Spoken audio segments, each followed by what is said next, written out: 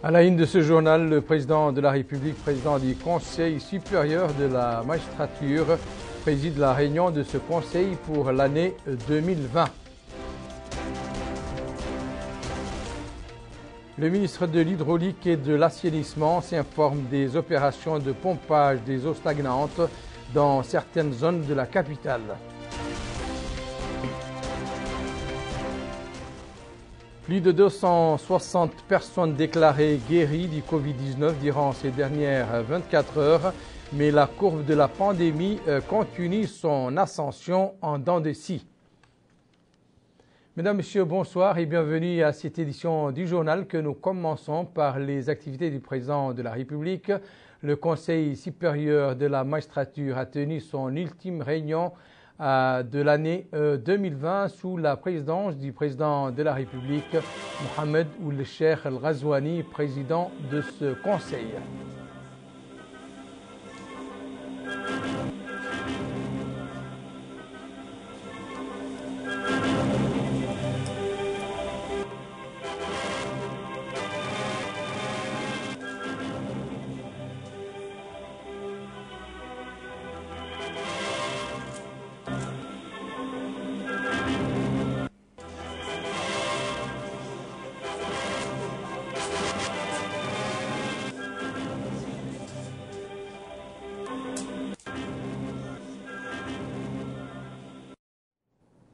Au niveau de l'Assemblée euh, nationale, la conférence des présidents a pris connaissance du projet de loi numéro 20-036 portant remplacement de la Société d'assainissement des travaux de transport et de maintenance ATTM par la Société des travaux d'entretien routier ETER pour ce qui reste des contrats programmes numéro 07 et numéro 03 ratifié par la loi numéro 2019 euh, 09 euh, et la loi euh, numéro 2019 010 du 19 février 2019 soumis par le gouvernement.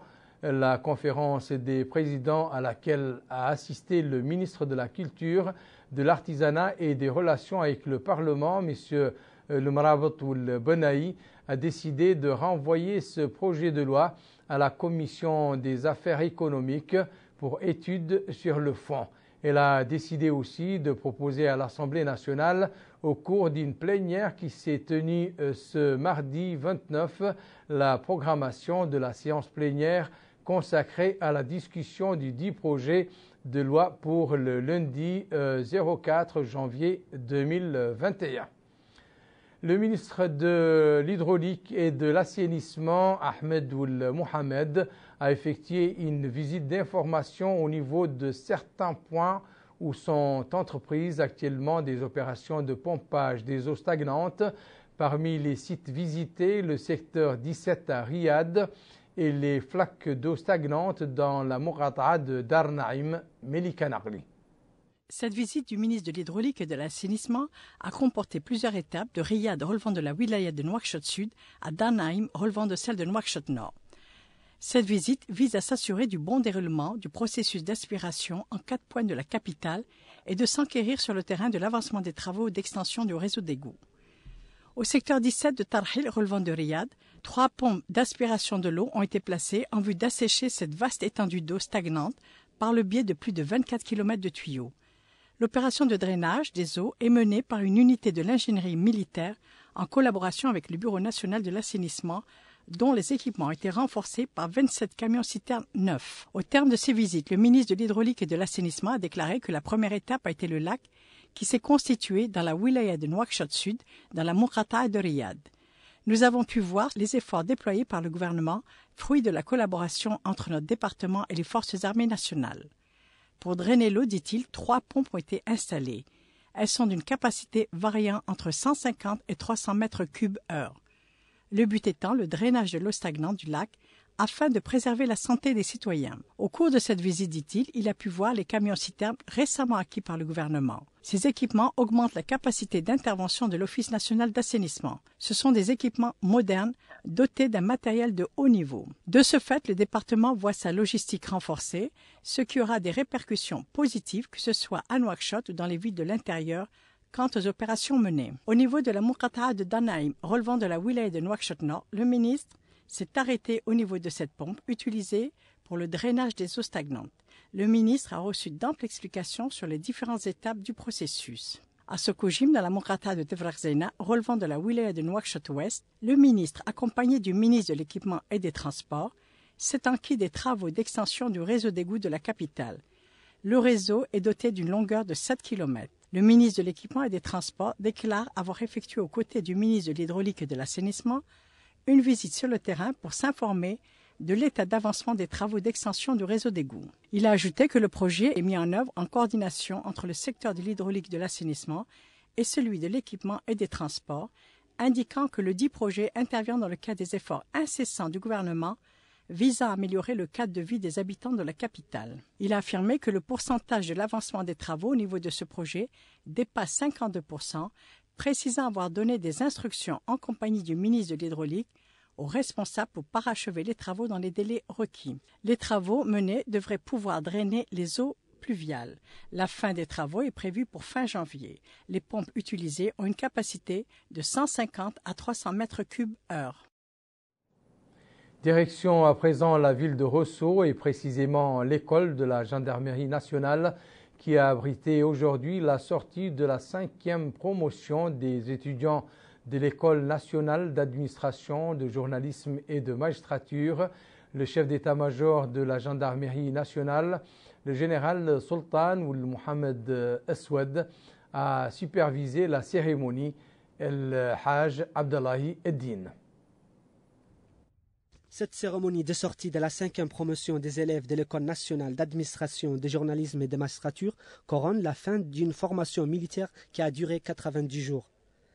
Cette promotion, qui porte le nom du martyr Mohamed Lemin Talbamar, compte 418 élèves, dont 193 filles.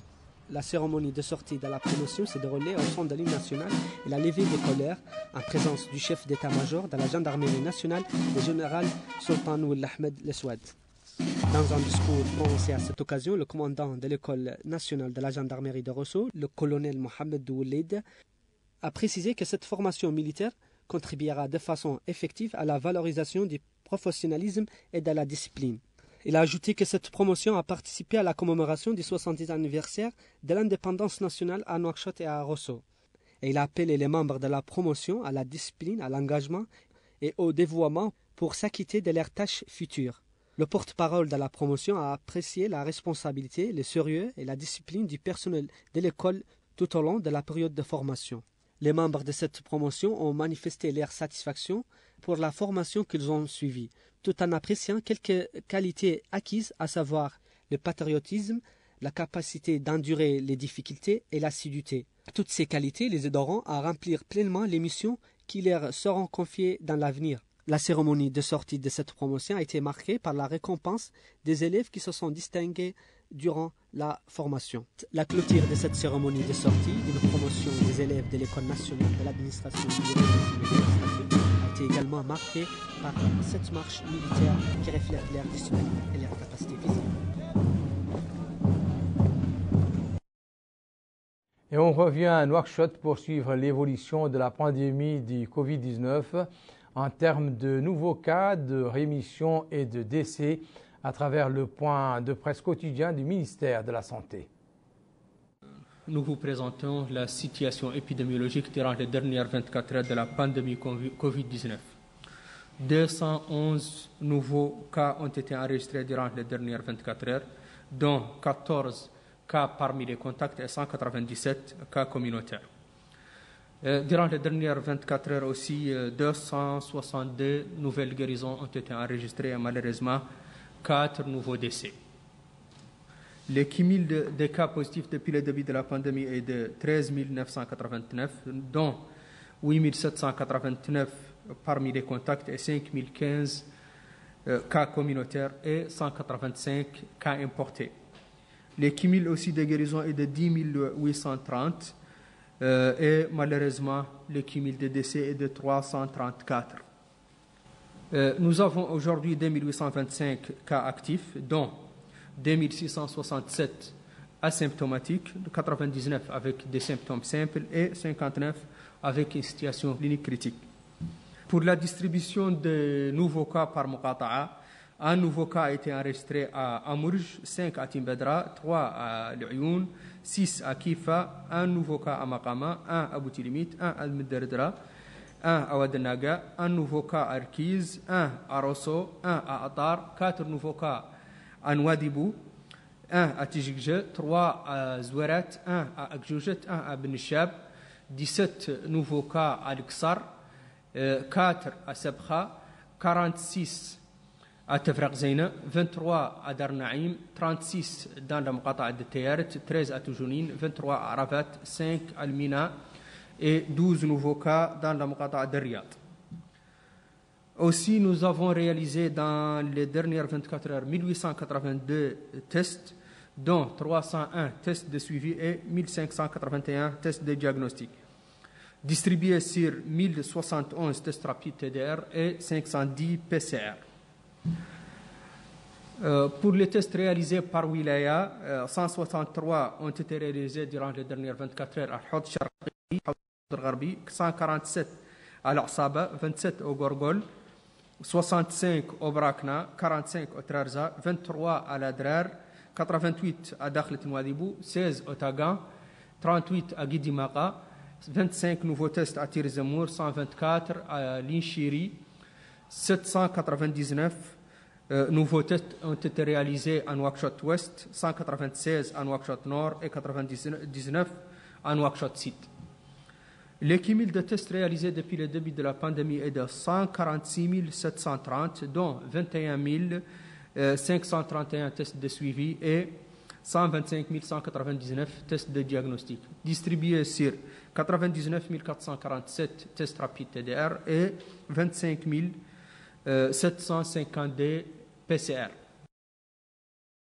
Au chapitre des activités du ministère de l'Emploi, de la Jeunesse et des Sports, la sensibilisation sur les dangers du sida organisée hier soir dans la wilaya de Nouakchott-Sud, une activité qui s'inscrit dans le sillage de la journée mondiale contre le sida, Abdelrahman Hamadan. Ensemble contre le sida et le Covid-19. Tel est le thème choisi pour la célébration de la Journée mondiale de lutte contre le sida organisée par le ministère de l'Emploi, de la Jeunesse et du Sport avec l'appui de l'ONU-SIDA. Cette commémoration inaugure une campagne de sensibilisation sur les dangers du sida et du Covid-19 et la nécessité de faire le dépistage et de respecter les consignes sanitaires. Prenant la parole à cette occasion, le conseiller technique chargé de la jeunesse au ministère de l'Emploi, de la jeunesse et du sport, Mokhtar Oulimbab, a exhorté les jeunes à participer aux efforts de sensibilisation sur la gravité de ces deux maladies mortelles, notamment dans les milliers de jeunes, et la nécessité de faire le dépistage et de se conformer aux gestes barrières contre le coronavirus. Quant au directeur de la jeunesse dans la wilaya de Nouakchott Sud, Mohamed El Sidi Mohamed, il a appelé les jeunes mobilisés dans cette campagne à suivre une approche adaptée au contexte actuel, basée sur les réseaux sociaux et les groupes WhatsApp, et la vulgarisation des bonnes pratiques à distance. Cette campagne de sensibilisation, menée par des jeunes volontaires mobilisés par les départements de l'emploi, de la jeunesse et des sports, s'inscrit dans le cadre des efforts visant à éradiquer le sida et la pandémie du coronavirus. Les activités de sensibilisation sur les dangers de l'autre pandémie, le Covid-19, demeurent d'actualité. Les marchés, lieux de convergence par excellence d'un grand nombre de personnes, constituent un endroit privilégié pour les initiateurs des campagnes de sensibilisation pour faire passer les messages relatifs à l'application des mesures de protection contre le virus corona. Les marchés de Nouakchott connaissent un relâchement notoire quant à l'application des mesures préventives anti-Covid-19. Malgré les campagnes de sensibilisation menées dans les lieux de rassemblement, y compris les centres commerciaux, les citoyens négligent totalement les mesures édictées par les autorités sanitaires. Dans ce marché, certains citoyens ne portent ni masque ni turban et ne respectent pas la distanciation physique nécessaire dans ce lieu de rassemblement regroupant les acheteurs et les vendeurs. Ce citoyen affirme qu'il y a des attroupements sans l'espacement physique nécessaire. Des plaies, ajoute-t-il, les voitures sont surchargées. Si les gestes barrières ne sont pas respectés dans ce marché par ces citoyens, d'autres les respectent à la lettre. C'est le cas de ce citoyen qui souligne que les mesures préventives qui ont été prises par les pouvoirs publics commencent à porter leurs fruits puisque la culture sanitaire s'installe progressivement chez les populations. La meilleure méthode susceptible de briser la chaîne de contamination par le coronavirus demeure le respect scrupuleux des mesures recommandées par les services sanitaires compétents. À Nassaba, le Wali s'est informé du respect des mesures préventives dans les administrations financières établies à Kifa. Il a par ailleurs supervisé une opération de distribution de masques, de produits d'hygiène et de désinfectants offerts par un député de la Mourata de Kifa pour faire face à la pandémie du corona.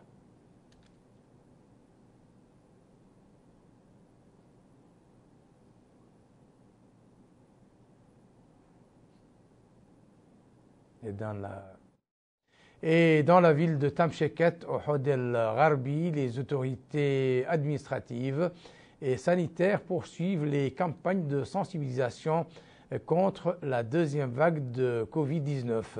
Aujourd'hui, cette campagne a touché le marché central de la ville de Tamsheket et le centre d'enrôlement relevant de l'Agence nationale du registre des populations et des titres sécurisés.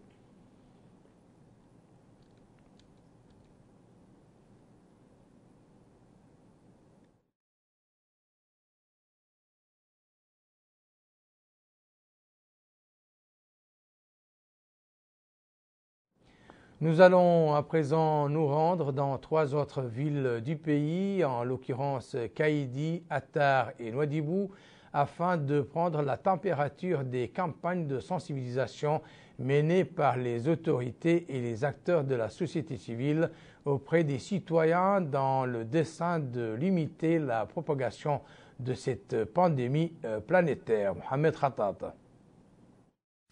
La ressource animale constitue l'un des piliers de notre économie nationale, de l'intérêt particulier accordé par les pouvoirs publics qui placent en tête de leurs priorités le renforcement des capacités des ressources humaines de ce secteur du développement rural à travers la formation continue de ses cadres et agents.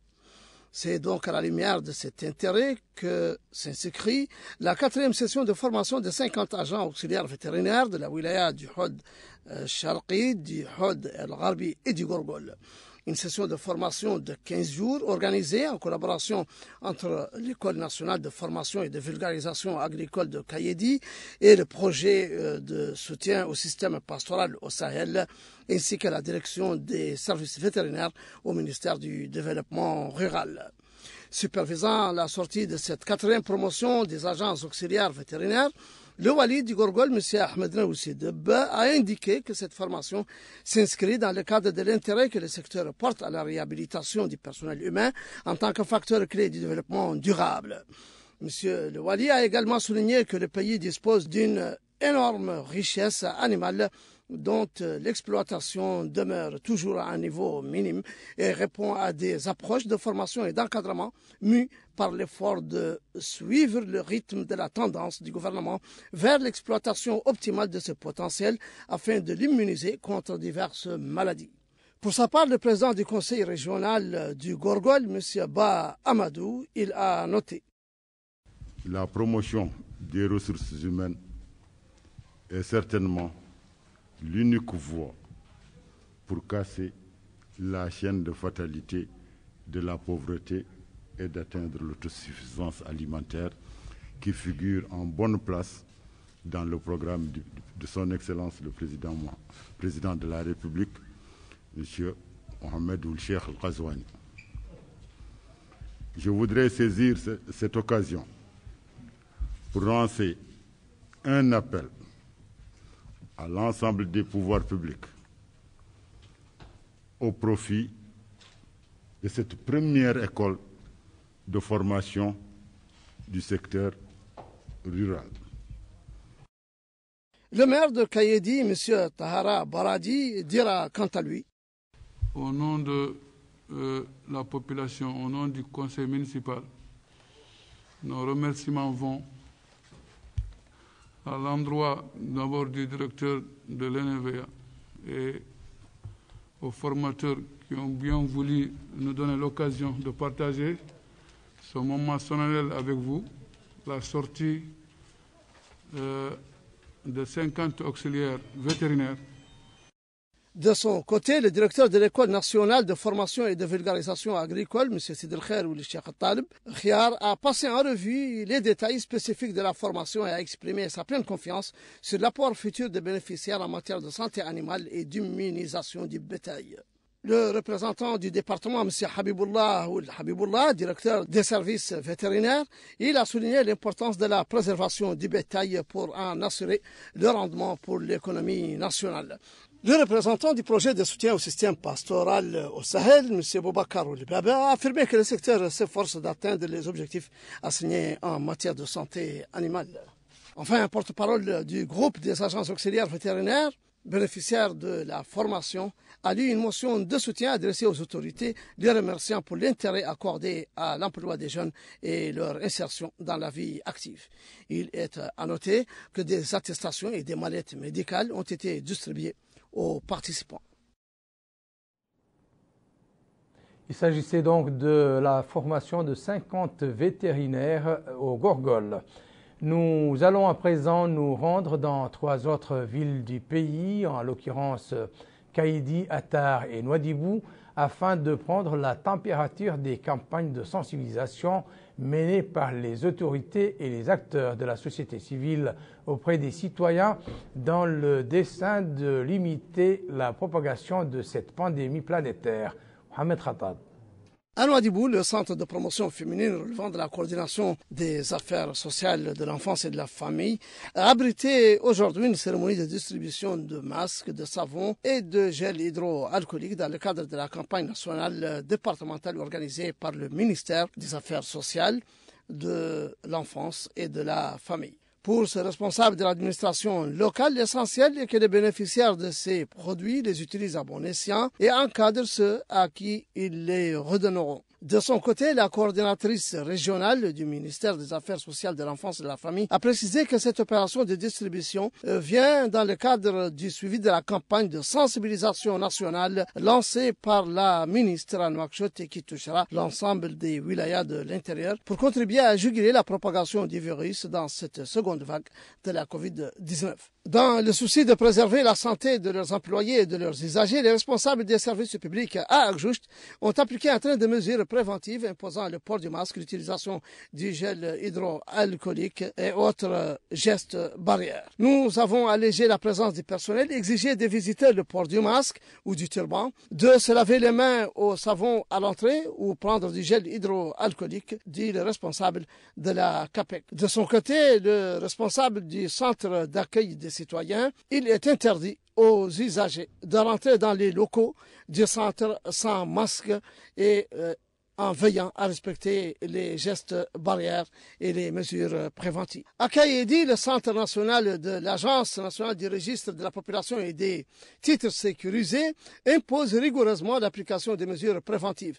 Selon le président du centre, Mokhtar Val ou l'imam Eddin il y a une répartition des personnels pour limiter les présences et nous demandons, dit-il, à tous ceux qui désirent venir au centre, solliciter des pièces d'état civil, de se laver les mains et de respecter les mesures préventives. Nous faisons entrer cinq personnes ou dix et les files d'attente doivent respecter la distanciation sociale. Des éléments des forces de sécurité nous aident à faire respecter ces mesures préventives pour juguler la circulation euh, du virus. Le rappel à présent des principaux titres de cette édition. Le président de la République, président du Conseil supérieur de la magistrature, préside la réunion de ce conseil pour l'année 2020. Le ministre de l'Hydraulique et de l'Assainissement s'informe des opérations de pompage des eaux stagnantes dans certaines zones de la capitale.